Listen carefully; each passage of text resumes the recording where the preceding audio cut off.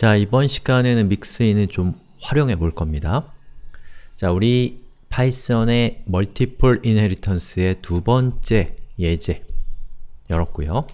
그리고 mixin에서 제가 어, 2.rb라고 하는 파일을 만들었습니다. 그리고 이 파일을 왼쪽에 정렬을 시킬게요. split left 해서 이렇게 됐죠. 자, 오른쪽에 있는 파이썬 코드부터 좀 살펴보면 자, 보시는 것처럼 칼이라고 하는 클래스를 C라는 instance로 만들어서 add, multiply, 그리고 divide라고 하는 세 개의 method로 호출했는데 실제로 이 칼이라고 하는 저 클래스가 가지고 있는 어, 메소드는 자, 여기 보시는 것처럼 요 자, 여기 있는 요 add와 multiply, divide 중에서 클래스 칼이 가지고 있는 것은 보시는 것처럼 add 뿐입니다. 자, 그런데 multiply와 divide를 실행시킬 수 있는 것은 바로 이 칼이라는 클래스가 어, Cal multiply, Cal divide라고 하는 두 개의 부모 클래스를 가지고 있기 때문이죠. 예, 바로 요것과 똑같은 어, 것을 우리는 이제 루비에서도 한번 해볼게요. 자, 루비에서 제가 우리 수업의 그 기본 예제로 삼을 것은 어, 사, 단일 상속 inheritance의 2.rb의 내용을 카피해서 이렇게 붙여넣겠습니다. 2.rb의 내용을 그대로 믹스인의 2.rb로 만들었어요.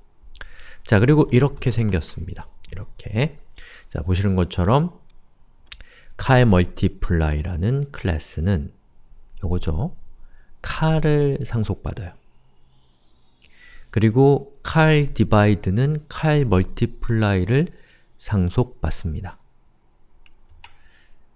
자, 그래서 우리가 Cal divide라는 저 클래스를 c2라는 instance로 만들면 예, Cal divide가 가지고 있는 자체적으로 가지고 있는 divide라고 하는 이 method는 당연히 실행시킬 수 있고 어, 칼 디바이드의 부모인 multiply도 당연히 실행시킬 수 있고 multiply의 부모인 칼이 가지고 있는 add도 실행시킬 수 있다라는 것이 기본적인 단일 상속이죠.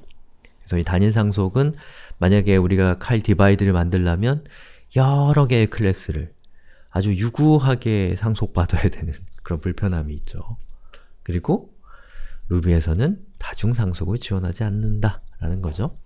자, 그럼 이제 어떻게 할 거냐면 자, 여기에 있는 이 칼이라고 하는 것을 이 뭐죠? 그 부모님의 부모님이니까 뭐 아무튼 뭐 무슨 말인지 아시겠죠? 예, 조상의 조상 이렇게 가는 거죠. 그게 아니라 이 칼 자체가 멀티플라이 디바이드를 갖게 하려고 하는 거예요. 그래서 여기 있는 예제를 싹 지워버리고 칼 new를 할 때 10과 음, 100과 10을 주죠.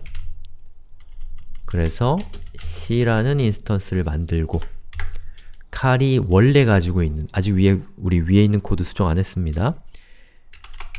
p c add를 하면 100, 100 더하기 10이 돼서 110이 나올 거고요. c.multiply를 하면 뭐 곱하기가 되겠죠. 1000이 되고 c.di divide 를 하면 100에서 10을 나눈 결과인 10이 될 겁니다. 자, 이렇게 하려면 어떻게 하면 되냐면 일단 여기 있는 클래스는 그냥 시각적으로 갖다 쓸 거니까 위에다가 올리고 예, 요 상속 구조는 이제 필요 없으니까 없애버리고 자 그리고 앞에 칼이라는 부분은 뭐 있어도 되고 없어도 되는데 그냥 없애버릴게요 자 그래서 여기 있는 요 클래스는 multiply라는 메소드를 가지고 있고 여기 있는 divide는 divide라는 메소드를 가지고 있습니다 자, 그리고 이 칼에서 좀 복잡해 보이는 건 다 날려버릴게요. 자, 그리고 밑에 있는 setget도 뭐 불필요하게 복잡하니까 없애버렸어요. 자, 그리고 이 상태에서 이 칼이라고 하는 클래스에 어, 존재하지 않는 multiply, divide를 사용하기 위해서는 우리가 이러한 메소드들을, 이러한 함수를 가지고 있는 이 모듈을 칼에다가 믹스인 시켜야 된다라는 거죠. 자, 그때 사용하는 키워드가 바로 include이고 include는 포함하다는 뜻이죠. 여기에다가 multiply, divide 이렇게 해주면 multiply와 divide가 가지고 있는 이 함수들이 이 함수들이 칼에 믹스인 된다 라는 거죠. 자, 한번 실행시켜 볼게요. 에러가 뜨네요. 에러가 뜨는 이유는 뭘까요? 이제 클래스는 믹스인을 못해요. 그래서 모듈로 해주셔야 돼요. 자, 그리고 다시 한번 해보면 보시는 것처럼 자, 여기 보시는 것처럼 자, add의 결과는 110이 나왔고 예, 그리고 multiply의 결과는 1000이 나왔고 divide의 결과는 10이 나왔죠. 이렇게 해서 이제 우리가 믹스인을 활용하는 방법까지도 좀 살펴봤는데요. 뭐 어려운 내용이에요. 어려운 내용이고 이해 안 갈 수 있습니다. 자, 그리고 이제 믹스인이라는 것은 사실 루비에서 여러, 여기저기서 구석구석 이 사용, 활용이 되고 있는 기술이기 때문에 여러분들이 지금은 처음이시기 때문에 좀 어렵겠지만 이제 조금 예, 조금 더 여러분들의 실력이 성장하면 이 믹스인을 좀 관심 있게 볼 필요가 있습니다. 이 고급 기능들이 믹스인과 상당히 연관되어 있는 경우가 많거든요. 자, 그래서 우리 수업의 취지는 뭐 고급 수업을 지향하는 수업은 아니기 때문에 믹스인을 소개해드리는 정도에서 마무리를 하도록 하겠습니다. 자, 이렇게 해서 파이썬에서의 다중상속 그리고 루비에서의 믹스인 이 두 가지 뭐 중요하지만 뭐 이해 못해도 큰 문제는 없는 그런 기능들에 대해서 지금까지 소개를 해드렸습니다.